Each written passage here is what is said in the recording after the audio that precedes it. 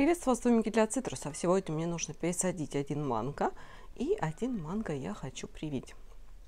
Один манго у меня будет расти из косточки, это из моего плода уже полученный саженец такой.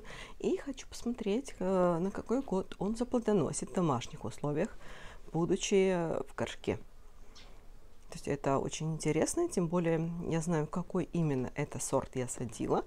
И посмотрим, сохранятся ли сортовые качества. Саженец хорошо подрос, и ему нужна пересадка. Вот моя рабочая зона на сегодня. А, в высоком худом горшке это был культурный манго, но он пропал. Он пропал не у меня. Я всего лишь купила этот подвой. Ну, уже там по уценке. То есть вот э, культурный пропал, прям хорошо пропал, поскольку у этих манго высокая прививка. И он дал два отростка, даже три отростка. Вот этот маленький хиленький я удалю. Вот этот вот. Он легко отломался. А на эту рогатку отросла вот такая рогатка. Ну, хорошая же. Э, лист хороший, зеленый. И он не пересаживался. Я его пересажу уже после прививки. А пока я его привью. А, растить из этого дикаря непонятно кого, я не знаю, на что они прививали. Потому не будем. А, его привьем. Это вот мой экземплярчик, привитый в мае 2020 года. И я хочу ему тоже а, заменить, освежить грунт. Вот он, привитый. Прививка была сделана вот таким способом. Все отлично растет. А этот экземпляр, это из косточки. Mango Sensational. А он тоже хорошо подрос и уже очень быстро пересыхает. Потому я ему увеличу горшок. Именно он будет как экспериментальный. Тем более он тут тоже вот раздвоился. У него есть рогатинка. То есть буду за ним наблюдать. Вроде как говорят, что манго из косточки а, зацветает на 5-6 год в домашних условиях или просто какая-то травма листочка молодого. И это, в общем, и я хочу понаблюдать за ним. Тем более, что что я садил, я знаю. Я подписала. У меня есть бирка, подписана и подписана, когда я его сеяла. Э, я его посеяла осенью 2019 года. Была посажена зернышко. Он подрос хорошо подрос, хорошо выглядит. Я ему увеличу горшок и все. И буду ждать. Начнем с пересадки. Сначала освежу грунт э, этому вот экземплярчику. Ему горшок увеличивать не нужно. Выглядит он замечательно. Ну, я насыпала осмокот. Э, и хочу немножечко это все освежить. Не по какой-то там проблеме. Может быть, свежего грунта даже подсыпать придется на низ. Вот. Чуть-чуть отряхну, прям весь ком. А все, и осыпалось. Корней у него немного, к сожалению. Я думала, будет больше. Странно. Ну ладно, возможно, был залив. Возможно, имел место залив. Потому смена грунта пойдет ему на пользу. Вот берем, насыпаем грунт. Грунт обычный мой торфяной субстрат с добавлением перлита, с добавлением циолита и этой лавы. Потому что мы разбирали, какой грунт у манго. У них он всякий разный. И с угольками, и с непонятной щепенкой, и с непонятными камнями.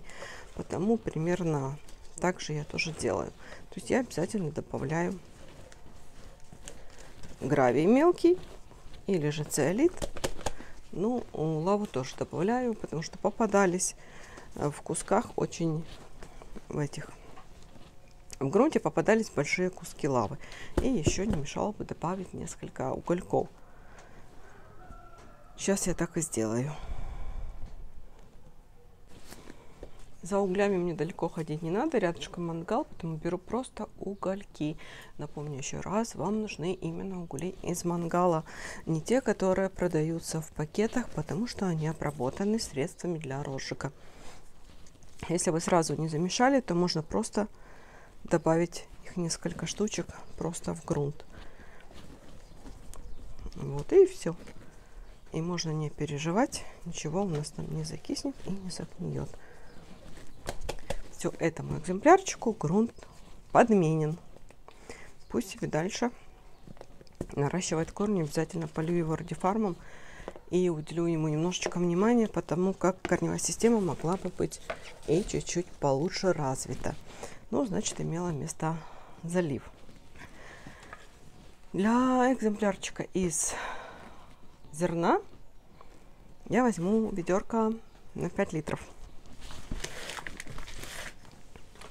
Сначала отряхну ему грунт, он хорошо пересыхает уже быстро, и на дне вон есть э, следы, следы червяка. У этого ком, ком держится хорошо, значит корни тоже получше. Сейчас посмотрим внимательно, потому что вот в блюдечке у него а, такие следы червяк оставляет. Поэтому сейчас посмотрю. Червяка в грунте у манго мне бы не хотелось иметь. Может быть, будет виден, может быть и не будет виден. Вот у него земляной ком хорошо держится, и корни вот, вот они как сеточкой.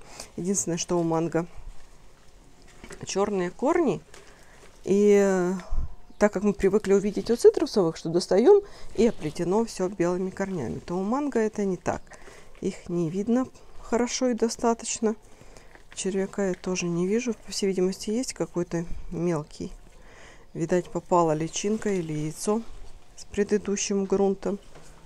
Потому что я его здесь не наблюдаю. А сильно растормошить ему корни я не хочу. То есть держится все отлично. Хорошо прям. Потому я его просто перевалю. И все. Пусть постоит здесь. Вот в этот уже грунт я добавлю несколько угольков. Перемешаю. То есть они могут быть вот такие вполне нормальные, даже крупные кусочки. Смело добавляйте. Вот, и посажу этот экземпляр. Есть информация, что манго не без прививки зацветают на 5-6 год. Вот очень интересно, сохраняют ли они свои сортовые качества. Вот сверху он немного грунт просыпается, потому его вот так по краям просыплю. Сохраняет ли он свои сортовые качества. Потому это будет прекрасное, прекрасный способ проверить. Тем более зная, какое семечко я садила и какие вкусовые качества у него. И не просто зная, а даже есть ролик с плодиками. Так что, хоть бы это все получилось, это вообще 4 года подождать. Спасибо было в 2019 году. Экземпляр на данный момент хорошо подрос. Так что осталось немного. Надеюсь, дождемся, и все у нас получится. Делать на манго прививку, в принципе, не сложно. Нам нужен сам дичок, черенок от культурного манго, желательно сортовой. И все, и смело делать. Вся загвоздка, где взять черенки. Черенки можно привезти э, с отдыха. Нужно съездить в Египет, отдохнуть и привезти оттуда черенки, найти сначала манго, где растет манго. Сейчас как бы из-за карантина дешевые туры, очень много людей, я знаю, ездят в Египет отдыхать. Попросите друзей. Ну или же у любителей, у кого оно растет. Но срезать черенки с манго это проблема. Оно не дает много приростов домашних условиях. И каждый прирост на данный момент заканчивается цветочной почкой. То есть у него есть завязи. Резать э, такие, конечно же, никто не будет, потому что все хотят увидеть плод. Нужно ждать, пока оно отрегулирует завязи, что сбросит, что не сбросит, когда даст новые приросты и что можно обрезать.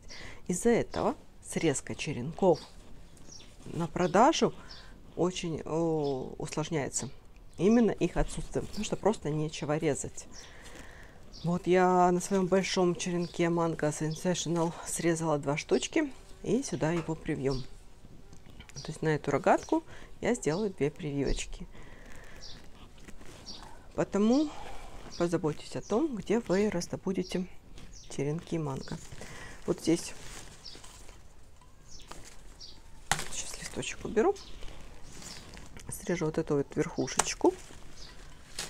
И у меня хороший такой вот э, несколько сантиметров этого прироста для прививки. Как раз у меня один черенок потолще, один черенок потоньше в диаметре. И точно так же сделаю с этим манго. То есть они растут вот волнами. Выдала прирост сверху. У него такая несколько приростов, несколько листочков. И голый стволик как раз хорошо для манипуляций, для прививок.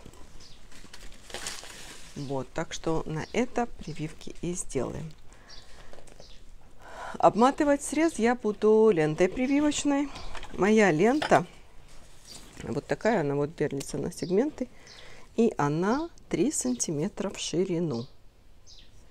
Вот 3 сантиметра. Потому что был комментарий, а я до сих пор еще не мерила, сколько она сантиметров в ширину.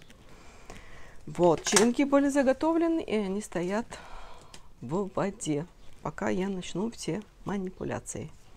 Еще мне понадобится два вот таких высоких зип-пакета. То есть первая манго, когда я делала прививки, я всю прививку обматывала прививочной лентой. Ну, потому что я видела такой опыт. Потом уже я увидела и с пакетами на голове, и, естественно, также делала, то есть тоже хорошо, нормально приживается. Эти листья нужно удалить, чтобы нам было куда одевать пакет, застегнуть его, и чтобы нам ничего не мешало. Там вроде мешать ничего не должно. И теперь вот у меня череночек, он потоньше. Он тоненький, и он подойдет сюда. Делать прививку я буду в расщеп. Обрабатывайте ваша манго от грибковых заболеваний. А, но поскольку он все равно подвой толще, чем привой, я сделаю срез не по центру, а сбоку. То есть делаем э, не по центру разрез, а немножечко сбоку, чтобы наш черенок зашел и не выпирал. То есть я разрежу глубоко, черенок у меня тоже худой и высокий, и я могу сделать срез довольно-таки высоким. Просто вот так вот на клинышек зачищаем с двух сторон. Да, с двух сторон. Потом делайте ваши черенки повыше срезом потому что первый раз можно промазать и срезать все. все как бы приходит с опытом. Все лохмотья убираем, черенки руками не трогаем, вставляем, примеряем. Вот, если не по центру срезать, а немножечко сбоку, то получается в расщеп и все совпадает. Вот, пристрелялись, совместили все совпало по краям и смело заматывайте. Смело заматывайте вашей лентой. Мне эта лента очень нравится. Она хорошо растягивается. Тем более, если она свежая, правильно хранилась, она не рвется. Она остается очень долго эластичной. И сама потом прилипает. То есть дополнительное какое-то э, завязывание углов, узлов ей не нужно. Просто обмотали, замотали, притянули. Она очень плотно прилипает, нет воздуха. И вообще она саморазрушающаяся. Но в домашних условиях она разрушается плохо, ее все равно нужно через какое-то время снимать. Листья можно как обрезать, так и не обрезать. Вот, я обрезать не буду, пусть будут себе. Может, и обрежу. Увлажняем листья увлажняем наш zip-пакет. А в процессе прививки, пока будет это все прививаться, листья могут отвалиться. Это не страшно. Главное, чтобы сам черенок не портился. То есть у меня там есть прививки, где листочки у меня наполовину были срезаны. Эти же оставим. Все, одели наш zip-пакет, поправили все листочки, застегнули ниже прививки. И остается только подождать, набраться терпения. Ой-ой-ой. И все. Плотненько застегнули. Время от времени проверяйте, есть ли влага. Если нет, то дополнительно пшикайте. Итак, первая прививочка готова. Ну, получилось замечательно. Осталось только дождаться результата. А теперь вторая. Вот у меня черенок, которому я уже что-то срезала. То ли он отрегулировал завязи и прирост был, то ли в прошлый раз черенки. И вот такой пенек некрасивый. Я бы хотела его убрать. Так, он не сламывается добровольно, потому я его срежу. У меня новый когтерез. Очень, кстати, классно. У него два краешка острые. Они движутся друг на другу встречу, навстречу и не зажимают, не зажевывают, а красиво ровненько срезают. Удалю немножечко листьев нижних. И эти листья немного подрежу. То есть ножницами листья я подрежу, потому что их будет много на этом вот черенке. И они просто не поместятся в пакет.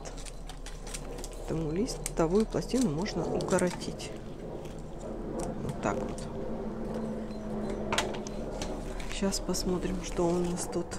О, этот идеально совпадает. Вот здесь будет идеальное совпадение. Потому делаем просто в расщеп. Надо бы пониже поставить, да, потому что будет плохо видно. Здесь совпадение подвоев и привоя одинаково. Потому отлично получится в расщеп именно по центру. Точно так же зачищаем наш, зарезаем наш подвой с двух сторон на клин. Делайте это острым ножом, секатором, чем вам удобно. И обязательно с запасом берите черенок и режьте аккуратно, потому что можно срезать, замахнуться и порезать. Вот, смотрите, совпадает идеальненько. Остается замотать и одеть пакет. Прививается манго легко. Проблема вся в черенках, именно в черенках. И я предпочитаю делать манго прививки манго, когда уже тепло. Когда прям хорошо тепло и жарко. Потому что по холоду у меня прививки, например, почему-то не получаются. Почему так, я не знаю. А когда наступает жара и тепло, и прививки манго и авокадо хорошо приживаются. Поэтому попробуйте вырастить, добыть черенок, подождать, пока вам смогут срезать черенок, потому что черенки срезать это реально проблемно. Вот, и потом все же хотят получить домашние плоды, а не просто кромсать это все на прививке. Вот, все готово. Режется и подвой, и привой легко. Так что никаких усилий здесь прикладывать не нужно. Просто найти и вырастить. И э, Подвой тоже сложно э, вырастить из манго, из покупных манго. Они срываются зелеными, они недозревшими. Косточки прорастают очень плохо. Так что сеянцы получить, если получилось прорастить, то это тоже уже хорошо. Вот, и всех делов-то. Взяли, привили. А, все, манго привита, манго пересажен и одному сделана подмена грунта, потому как что-то проблема с корнями. Этот э, подвой был в активной фазе роста, вот у него молодой прирост, потому я надеюсь, что прививки приживутся хорошо и быстро, и результат будет, будет виден через месяц. Этот черенок я поставлю на укоренение, просто оборву ему нижние листья, потому что их очень много. Прививать можно и без листьев, а обмотать просто сам череночек а, лентой прививочной. Можно вот так попробую поставить его на укоренение просто в воду, без всяких там танцев. И попробуем укоренить в воде. Есть опыт укоренения и в сфагнуме, и в тепличках. И я вам попозже еще покажу один эксперимент. который у меня случайно получился. Вот эти вот листья, черенок очень маленький, листья очень огромные, потому я подрежу. Пожалуй, здесь я тоже подрежу, потому что листья очень огромные, они будут испарять много влаги. Поэтому сделаем вот так вот и поставим воду на укоренение. О результатах э, я вам расскажу через месяц. И прививку покажу, и получилось ли укоренить. Результат сегодняшнего дня. Манку подменен грунт. А, и нужно ему бы корни нарастить, так что полейте обязательно радифармом после пересадки. Этот остается экземплярчик э, не привитый, выращен из косточки. И вот такой дикарь привитый. А, то есть смотрите, даже если у вас пропала манго, не торопитесь это выбрасывать. А, срежьте и подождите, он может дать прирост. И, кстати, он остается на данный момент в своем грунте родном, в котором приехал. Он не пересажен, прирост он выдал хороший, так что тут можно еще разгуляться и попробовать его окультурить. Так что если у вас вдруг покупной манго из Испании пропал, не торопитесь это все выкидывать. Просто обрежьте, поставьте в угол, забудьте на какое-то время. Иногда только поливайте. И можно дальше пробовать и экспериментировать. Через месяц я вам покажу результаты, что получилось из этого всего, э, как прижились прививки, как чувствуют себя пересаженные растения. От грибковых заболеваний обрабатывайте обязательно ваши экземпляры средствами от грибка. Это препараты на основе меди и ридомил. То есть, да, манго подвержена, очень подвержена грибковым заболеваниям. Так что обязательно проводите профилактическую обработку. Если остались комментарии, пишите. До новых встреч. Всех обнимаю. Пока.